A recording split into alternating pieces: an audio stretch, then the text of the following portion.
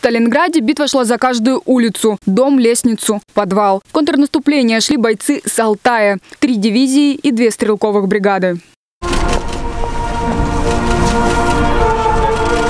Сегодня к мемориалу славы в память о героях возложили цветы. Среди тех, кто отличился под Сталинградом, герои Советского Союза. Это Плотников, Кощеева и Ликунов. Все наши земляки.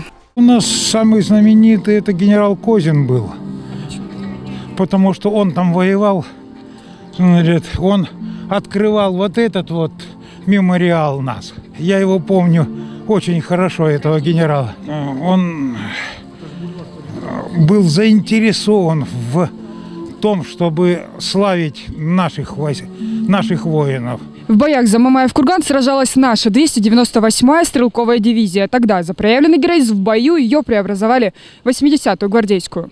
Бульвар в центре города назвали бульваром защитников Сталинграда. Уже 45 лет вахту памяти несут школьники. Первый барнаульский пост – один из самых старейших в стране. Создан был в 76-м как почетный комсомольско-пионерский. Вот здесь на мемориале хранятся около 30 тысяч человек, э, воинов, погибших с Алтайского края, даже с города Барнаула.